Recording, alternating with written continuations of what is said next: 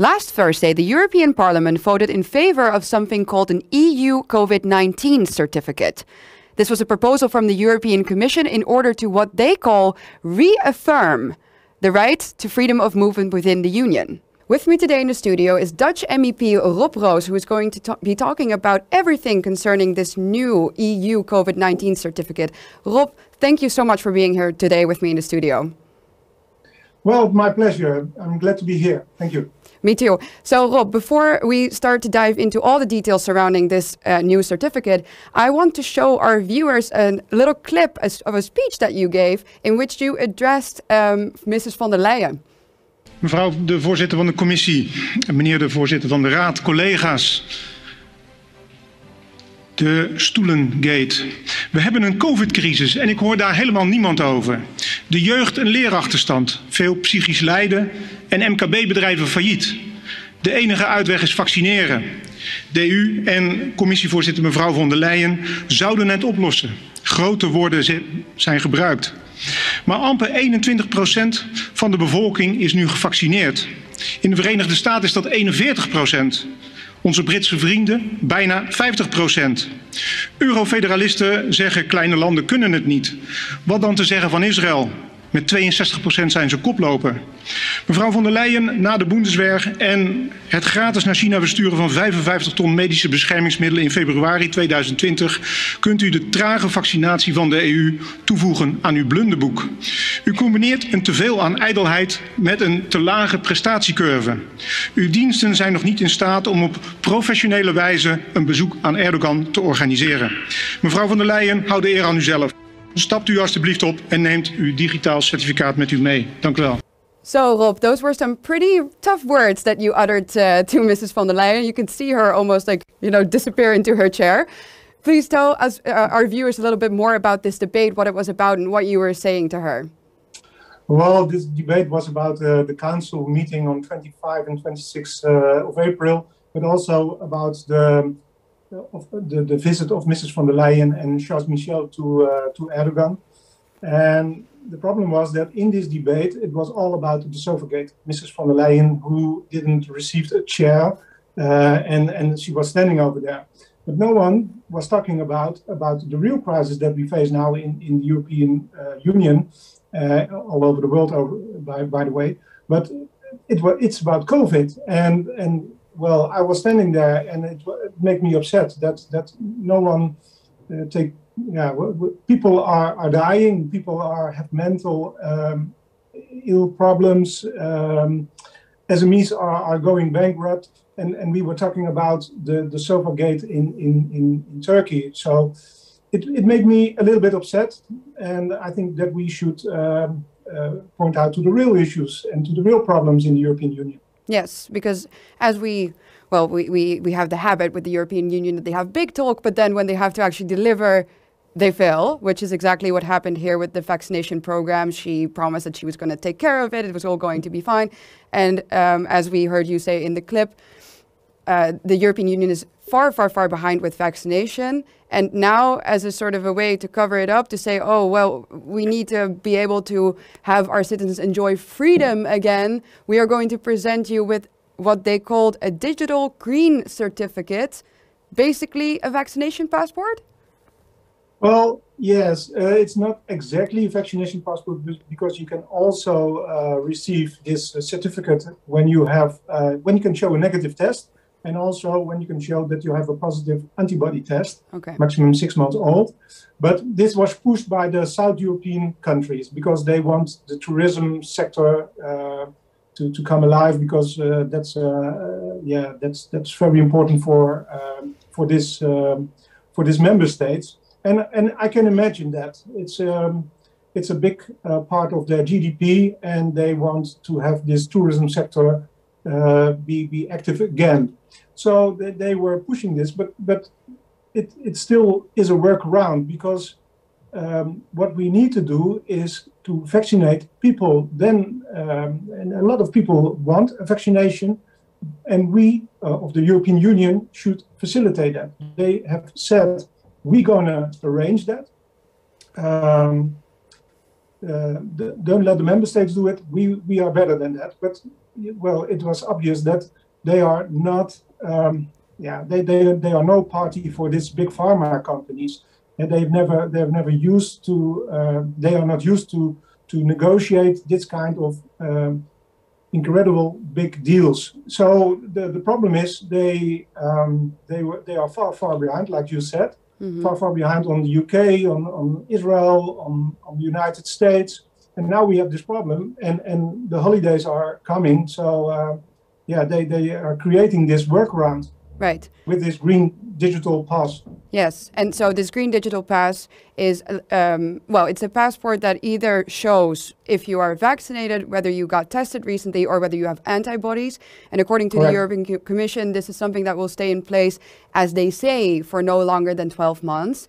But I mean, we all know there is no such thing as temporary measures. What scares you most about this vaccination passport? I'm just going to call it that for for ease, the sake of it being easier. Um, why did you guys vote against this? What is so important in this debate?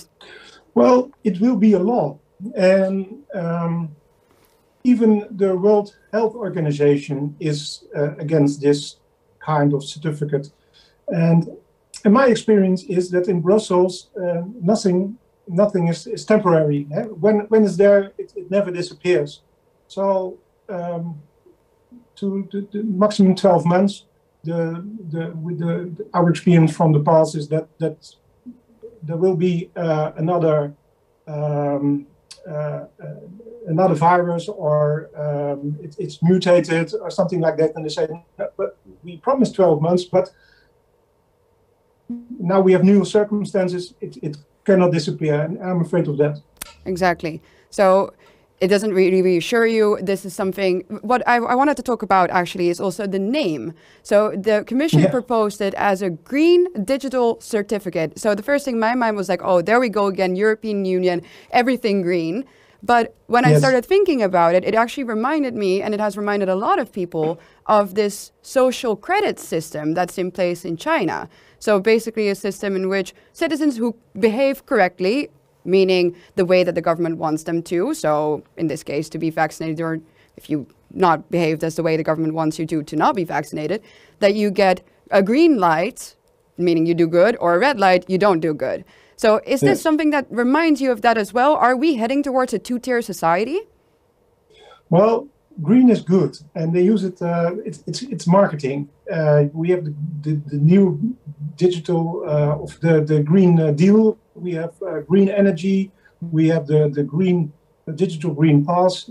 Uh, it, it, it's all marketing. And um, yeah, it's, it's, uh, we, we, we were able to change the name in, in the European Parliament, in the European Union uh, COVID 19 certificate. So it's, it's very clear where, where it's for. Exactly. Um, when COVID is over, COVID-19 is over, we can also get rid of this uh, of this certificate.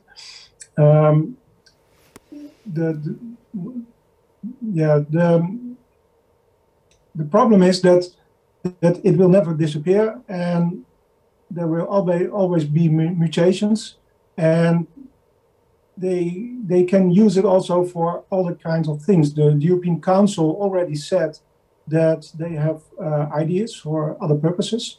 Um, and yeah, well, China is a very different country than the European Union. Eh? That we, we can compare to that, but um, it, it's for sure that we have to be uh, that we have to take care. Nobody can imagine that we should use uh, a digital green pass one year ago and it's going step by step. It's going very slow, and um, yeah, Chinification. It's what what I that's not the, the good direction, and I think we really should care about that. Absolutely. I 100% agree. So we're saying this could pose a threat to obviously bodily integrity, uh, integrity, free movement, so all sorts of basic human rights that now they're saying in order to win those back, we will need a passport like this. What about privacy? Um, yeah, also privacy, but also in Belgium, it's um, the the limitation on, on personal freedoms have been uh, judged uh, unconstitutional. So that it's also uh, uh, by law, it's, it's not right. And and yeah, for privacy, it's also um, a thing because we we have now um, our uh, health status as um, as, as a, a, way to, to to to move freely through the European Union and they also want to use in the Netherlands already. Uh, today is a, there is a debate to use this um, within the country for other kinds of purposes. So you, you, what we are afraid of is, is, is already happening within one week.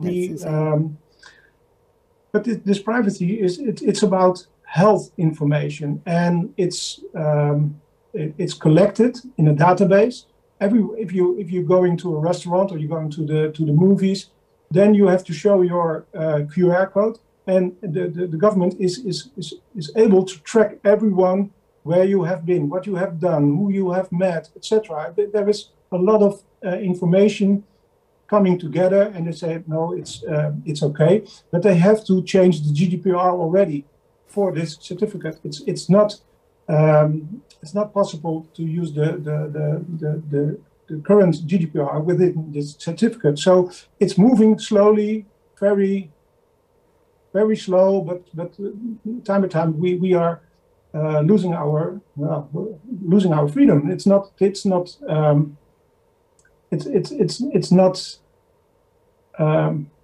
yeah how can you say it? It's it's not um, make no common sense anymore. I agree. And mm. and I'm also afraid that if we um, there are people who want to have this QR code, this this certificate, right? Um, but there are also people who who, who cannot do it because of uh, health problems. They cannot take the vaccination or etc. Mm-hmm. I'm afraid also this, this um, it's not a vaccination passport. Eh? We have the other two options of, of a negative test and also a positive uh, antibody test. Right. But I'm, I'm afraid that that will uh, that will disappear in, in the future. Right. Uh, yeah. If everyone has is been able to, to get a vaccination and you haven't done it, I'm afraid they will say, okay, that's your choice. But these two, th- these last two options will disappear now. Yeah. And then we have, um, then we have a vaccination passport. Uh, some people cannot take it. Some people don't want to take it, and that's their this body integrity, and that's their their their, their right to do that.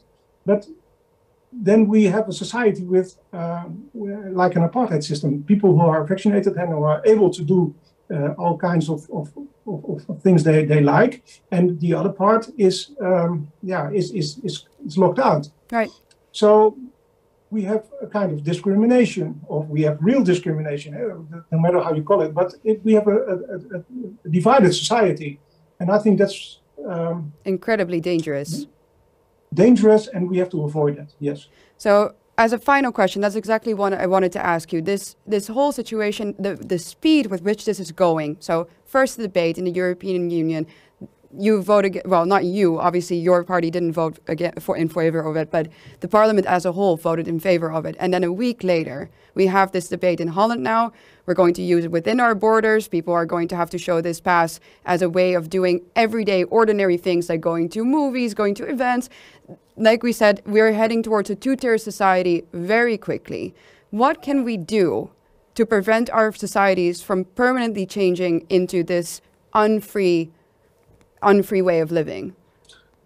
Yeah, they take away our liberties and they make them conditional uh, on a certain health status, and they call that freedom uh, again. But in my opinion, uh, this is conditional freedom, which is no freedom at all. Exactly. And the thing that we can do is is to speak out loud. Um, we are sleepwalking towards uh, another kind of society now, and uh, where work people rule, and free speech is is becoming more more and more impossible.